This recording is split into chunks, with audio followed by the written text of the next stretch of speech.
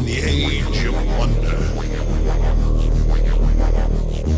Another world, another time. His land was green and good. Come touch me like I'm an ordinary man. Have a look in my eyes. Underneath my skin, there is a violence. It's got a gun in its hands. Ready to make, ready to make, ready to make sense of anyone, What with the game, Cyberpunk 2077, uh, about to get a, a new teaser soon, uh, let's look at the role playing game upon which it is based. This is the 2020 edition of Cyberpunk, which is the definitive edition. There was an earlier edition called Cyberpunk 2013, which was released in a black box, a kind of much more traditional release of a game at the time. Box sets were, were all the rage. 2020 came later and was a much more polished and playable game, but 2013 was pretty successful. It was one of the last RPGs I bought in a Games Workshop store before they went entirely corporate. This is a later edition of the 2020 game with some of the Spanish edition art in it, which they decided was so good they'd bring into the next print run of, of Cyberpunk. It's also my second copy of the game because the original one wore out, which is why this one is laminated. So you can tell we played the ever living fuck out of Cyberpunk. Not so much Shadowrun, keep your elves out of my Cyberpunk, but for those of us who were of a mm, harder sci fi bent, uh, Cyberpunk was, was the game to play, and it was it was everywhere, and it's a really important and foundational game in many ways because a lot of the tips and so on that it had for creating atmosphere while playing and so on, also the kind of darker side of gaming, the more modernistic approach, the you know, the near future setting and so on. Without that, we couldn't really have had Vampire or a lot of the other kind of dark wave of games that there were through the 90s. So it's a really important and, and seminal game that we played the hell out of. The 2013 edition had a lot of kind of Nagel uh, style art, uh, which was which was pretty good because it was cyberpunk is very much a kind of 80s vision of the future. Um, so yeah, that that made a lot of sense to choose that kind of iconic 80s style for everything. But that makes cyberpunk now very much a kind of retro future. um, weirdly, in a way that steampunk is almost that kind of 80s aesthetic, that 80s sensibility, that 80s style. Uh, it's kind of a, a, vision of the future that's that's frozen in time, like a lot of old science fiction. So I'm hoping when it comes to 2077, I'm hoping it's kind of a, a soft reboot rather than a than a continuation of the timeline, because that just wouldn't wouldn't really make sense. There's too many assumptions and things in the background of Cyberpunk that no longer make sense. Um, that often no longer make sense when you go back and look at the fiction that inspired it. Because you know the Japanese are not in charge of everything. It's like it's like when you look at Blade Runner and you see the the companies that have died on the billboards and the blimps and everything else, and it just kind of throws you out. And there were assumptions in the background of, of Cyberpunk as well that no longer make sense. In a similar way to Twilight 2000 had to be very much updated because it no longer uh, made sense to think about you know, a conflict with the USSR. So if you wanted to keep that kind of plausibility of background, you had to change things.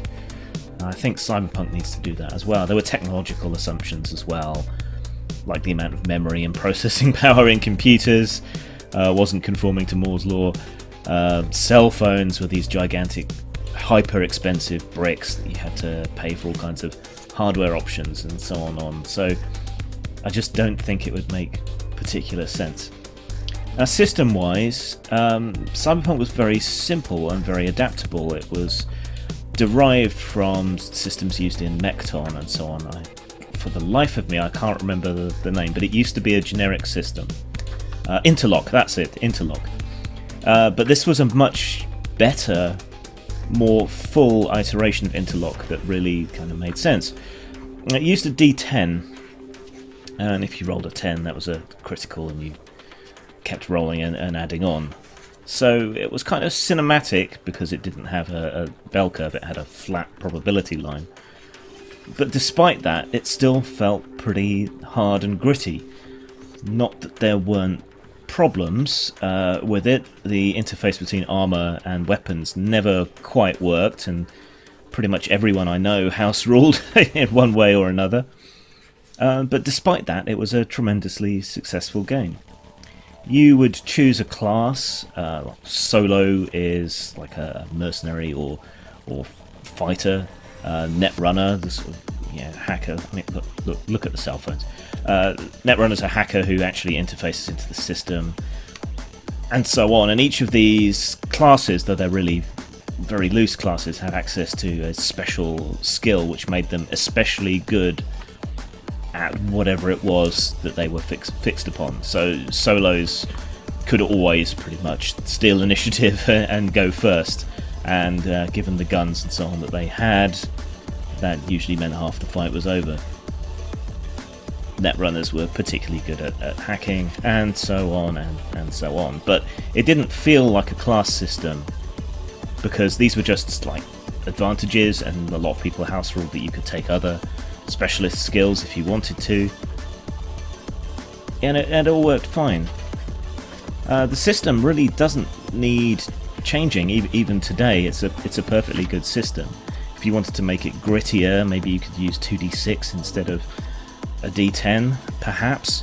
The only real problem is that interface with the with the armor, and again that's easy to house rule. So you know there's there's ways to get around that.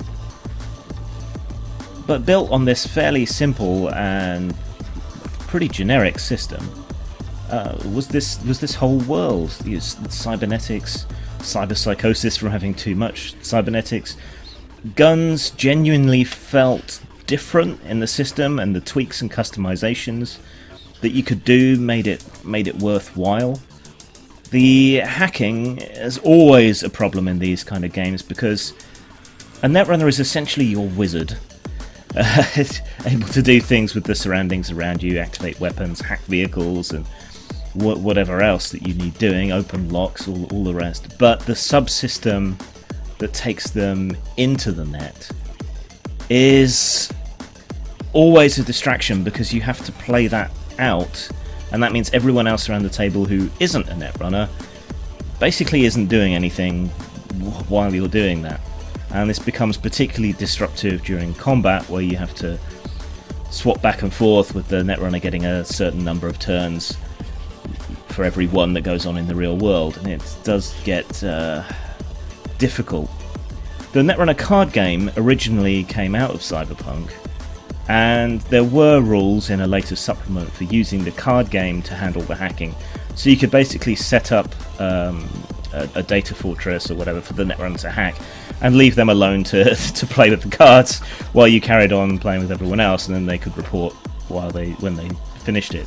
You know, an element of trust uh, was involved there, of course. But this is also a problem in Shadowrun and any other game that uses this kind of uh, in-depth and in-character virtual hacking system. Yeah, that that always always happens. Um, See, the cyber psychosis thing was the, the more robotics you built into your body, the less human you became, and that, uh, whether directly or not, clearly seems to have inspired uh, things in Vampire and so on. And as I said before, the the hints and tips on how to make a more immersive game, like lighting, music, uh, focus on character and, and drama and so on, while it was only really words and not particularly built into the systems other than cyber psychosis, you know, it, it was really, really important in establishing that background for the games that were to come later on.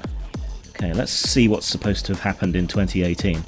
Brushfire wars erupt in Eastern Europe. ESA mission launched to Jupiter.